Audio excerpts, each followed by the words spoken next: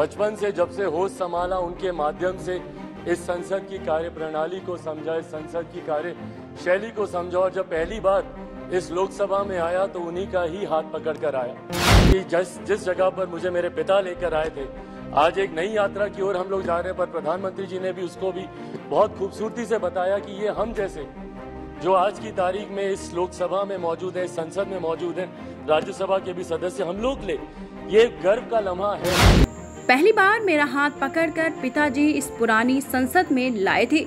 रामविलास पासवान को याद कर भावुक हुए चिराग पासवान। नए संसद भवन में जाने से पहले पिता स्वर्गीय रामविलास पासवान को याद कर भावुक हुए लोजपा रामविलास के राष्ट्रीय अध्यक्ष चिराग पासवान ने कहा कि मेरे पिताजी मुझे इस पुरानी संसद में पहली बार मेरा हाथ पकड़कर लेकर आए थे। अब इस ऐतिहासिक पल पर पिताजी की कमी मुझे बहुत खलती है। संसद के 18 सितंबर से शुरू होने वाले पाँच दिन के विशेष सत्र की शुरुआत पुराने संसद भवन से हो गई। आपको बता दें, नए संसद भवन में जाने से पहले लोक जनशक्ति पार्टी रामविलास के राष्ट्रीय अध्यक्ष चिराग पासवान, अपने पिता रामविलास पासवान को याद कर इमोशनल हुए, भावुक हुए। पुरानी संसद भवन से नई संसद भवन में जाने को लेकर चिराग पासवान ने कहा, मेरे लिए सौभाग्य की बात है, मैं इतिहास और भविष्य के बीच की कड़ी बन रहा हूँ। चिराग पासवान ने कहा कि ये मेरे लिए बहुत ही भाविक क्षण है क्योंकि पहली बार यहाँ मेरे पिता ही मेरा हाथ पकड़ कर लाए थे। देखिए बहुत कुछ कह गए चिराग पासवान अपने पिताजी के बारे में आप सुने। दीक्षांत एडुटेक लाया है दीक्षांत सी लर्निंग ऐप। बने दीक्षांत का चैनल पार्टनर और अर्न करे लाखों रुपए प्रति महीने।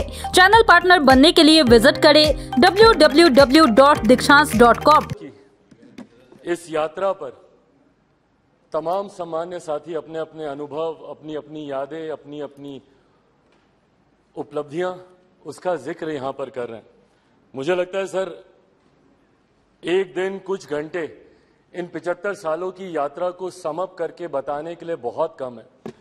पर मैं बधाई दूँगा जिस तरीके से आज हमारे प्रधानमंत्री आदरणीय नरेंद्र मोदी जी ने इतने कम समय में इतने खूबसूरत शब्दों के साथ जिस तरीके से इस पिचहत्तर साल की यात्रा के बारे में उन्होंने पूरा बखान किया, जहाँ हमारे देश के प्रधानमंत्रियों के योगदान से लेकर इस संसद को चलाने में छोटे से छोटे कर्मचारी के योगदान तक की। उन्होंने सराहना की, उनको भी, उन्होंने सम्मान देने का काम किया, मीडिया के हमारे साथियों का भी उन्होंने ज़िक्र किया।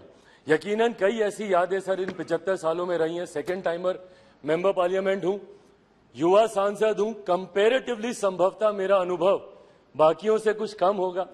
पर नौ साल का मेरा भी अपना अनुभव है, पर इन नौ सालों से ज़्यादा सर, मेरा अनुभव मेरे नेता, मेरे पिता, आदरणीय रामविलास पासवान जी की वजह से रहा। बचपन से जब से होश संभाला उनके माध्यम से, इस संसद की कार्य प्रणाली को समझा, इस संसद की कार्य शैली को समझा, और जब पहली बार इस लोकसभा में आया तो उन्हीं का ही हाथ पकड़ कर आया।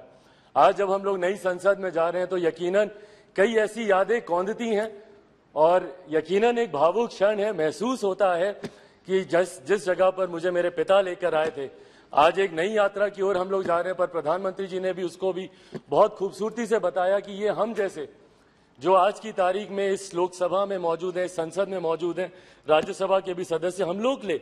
ये गर्व का लम्हा है, जहाँ एक तरफ़ हम लोग इतिहास के भी हम लोग साक्षी रहे हैं, वहीं एक नई ऊर्जा के साथ, भविष्य की भी ओर हम लोग जा रहे हैं तो कड़ी बनने का सौभाग्य हम लोग को मिला इतिहास और भविष्य के बीच, जो यकीनन मौजूद यहाँ पे तमाम सांसदों के लिए एक गर्व की अनुभूति कराता है।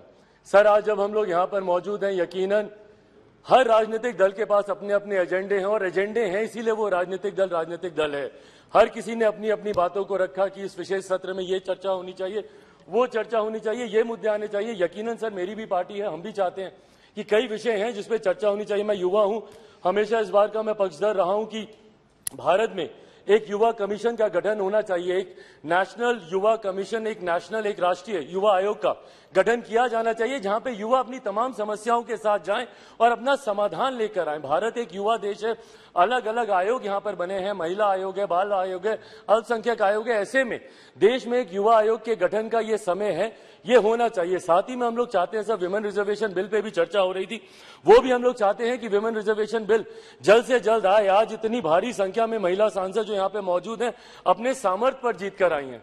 ऐसे में इनको किसी के सहारे की ज़रूरत नहीं है बट विमेन रिजर्वेशन बिल आने से ज़रूर और बल मिलेगा और ताकत मिलेगी, उसका भी हम लोग समर्थन करते हैं। और साथ ही में लंबे समय से हम लोग की मांग रही है एक इंडियन जुडिशियल सर्विसेज़ को लेकर। हम लोग चाहते हैं कि एक जुडिशियल सर्विसेज़ का गठन हो ताकि समाज के वंचित वर्ग से आने वाले लोग उस स्थान पर पहुँचे जहाँ से वो न्याय दिलाने की प्रक्रिया का वो हिस्सा बन सके ताकि उनके साथ जो अभी तक भी रह रहकर भेदभाव या अन्याय होता है, उसको दूर किया जा सके। पर इन तमाम विषयों को अलग अलग मंचों पे हम लोगों ने रखा है, सर, ऑल पार्टी मीटिंग होती है वहाँ पर भी। पर हम लोग सिर्फ़ इन एंटीसिपेशन की क्या होगा क्या होगा, कहीं ना कहीं इस लम्हे की खूबसूरती को हम लोग खो रहे हैं। आज मैं बस यही आग्रह करूँगा कि कौन सा बिल आ रहा है, नहीं आ रहा है। पर ये जो विशेष सत्र बुलाया गया है, ये इतिहास और भविष्य को जोड़ने वाली कड़ी को लेकर बुलाया गया है। हम लोग का ध्यान यकीनन केंद्रित उस तरफ़ भी होना चाहिए ताकि इस लम्हे की खूबसूरती को हम ना भूल जाए। पूरा देश नज़र लगाए इस पर देख रहा है कि कैसे हम लोग यहाँ से दूसरी नई संसद में हम लोग जा रहे हैं। देश ही नहीं पूरी दुनिया देख रही है।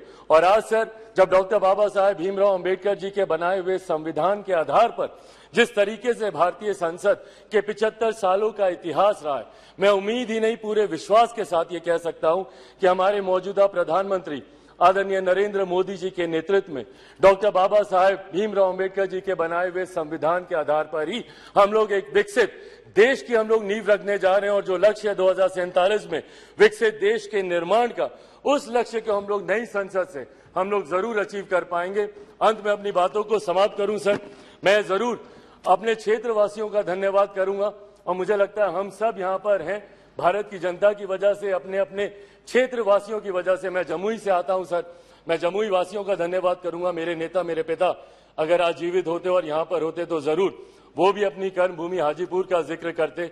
मैं पूरे अपने प्रदेश, बिहार का और देशवासियों का धन्यवाद करूँगा जिन्होंने भारतीय संसद को इतना सशक्त, इतना मज़बूत बनाया कि आज जब दुनिया भर के राष्ट्रीय अध्यक्ष आते हैं तो वो जी ट्वेंटी जैसे इतने भव्य आयोजन को देखकर, जो हमारे प्रधानमंत्री जी के नेतृत्व में किया गया, उसको देखकर देश ही नहीं, पूरी दुनिया बढ़ते, विकसित भारत के बढ़ते कदमों की सराहना करती है।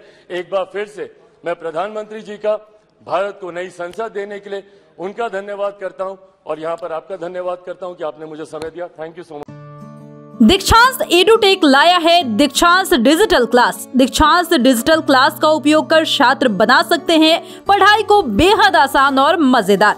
दीक्षांत डिजिटल क्लास को स्कूल में बैठकर देखना है तो पेन ड्राइव और स्मार्ट टीवी बनेगा सही माध्यम। चलिए अब ये भी जानते हैं कि दीक्षांत डिजिटल क्लास का फ़ी स्ट्रक्चर क्या होगा?